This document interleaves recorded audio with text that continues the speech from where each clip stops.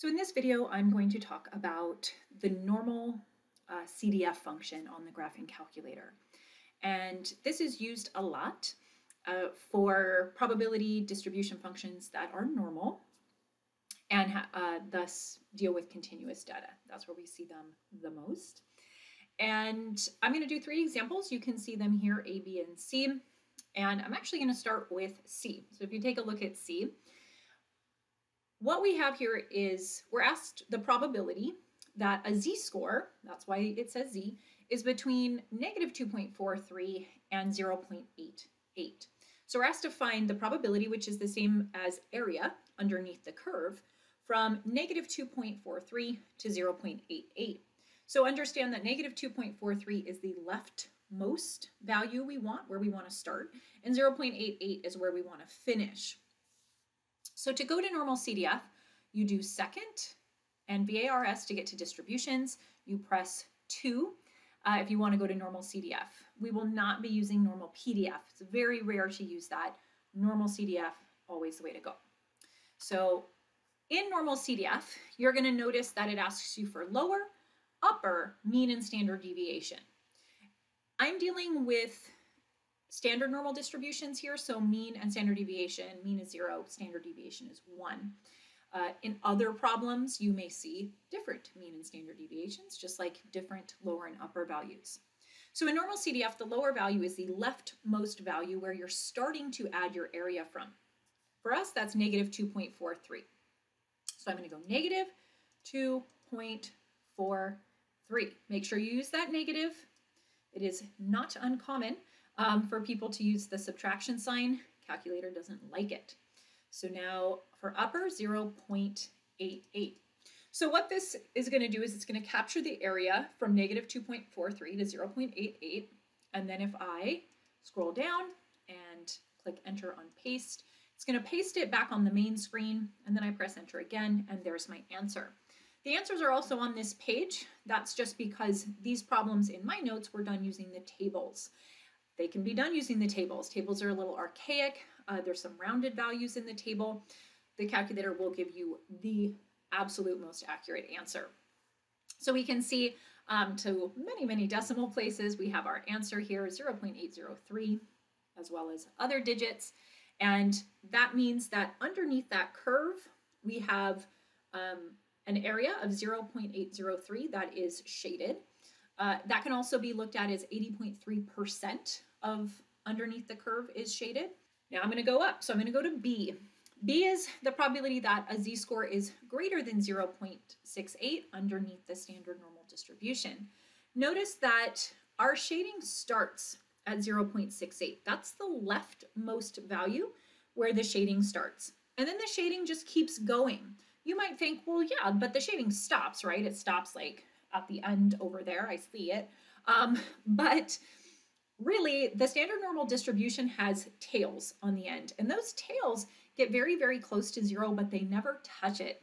It's a bigger idea. It's not typically talked too much about in elementary statistics, but what it does mean is that when we do problems like B, we have to consider that there could be this area way, way out that's just really, really teeny. We want to make sure we add it all up.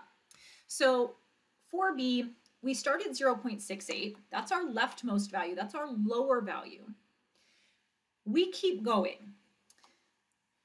All that means is you just have to put in a very, very big number. Now, you could put in 100,000 and you'd be fine. You could add another zero, you could add another zero, you could add another zero. You're going to get the right answer. So if I paste this I get an answer 0.28 uh, to three significant digits, and you can see that's the same answer I get on my page. I'm going to go back and I'm just going to show you because the calculator does a default that's going to show up here.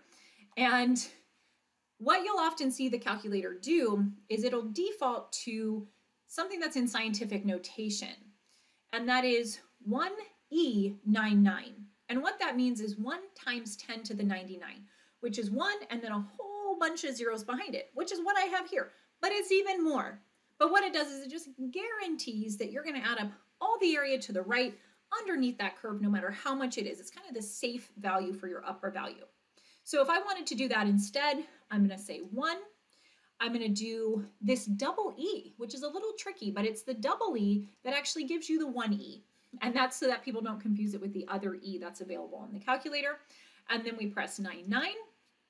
Again, this is very similar to what I just wrote, but just with a whole bunch more zeros. It's just a shortened way to say it. Now when I paste it and press enter, notice it's the same exact answer. so as long as you don't have a mean and a standard deviation that are very large, um, and you know, like you're talking about uh, the the number of miles that a tire can go, and it might be ten thousand, and now you know these numbers are very different inside normal CDF. So by using something like 1E99, you're going to guarantee that you're no matter what situation you're dealing with, you're going to be adding up all the area you need. And now the last one for A, again, more normal CDF. I want you to notice it's the opposite. Now we're adding area to the left with A. Anything less than 1.35.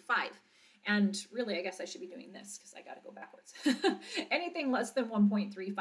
And what that means is we want to take all the area that's way, way out here, all the area that's way, way out here. And so because the mean is uh, zero and the standard deviation is one, on this side, that's negative one, negative two, negative three.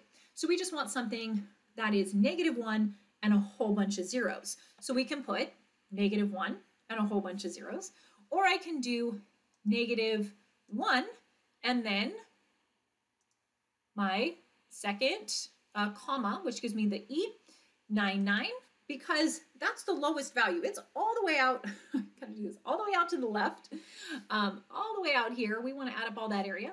And then if I scroll down, I want up to 1.35. That's where my shading ends. 1.35 is where it stops, left to right. So mean and standard deviation, I paste it, and I get 0.911, which as you can see is the answer found in the tables as well. But those are the three situations that you'll see with normal CDF. And hopefully this video helped a little bit in um, seeing what the differences are and how those differences show up in normal CDF.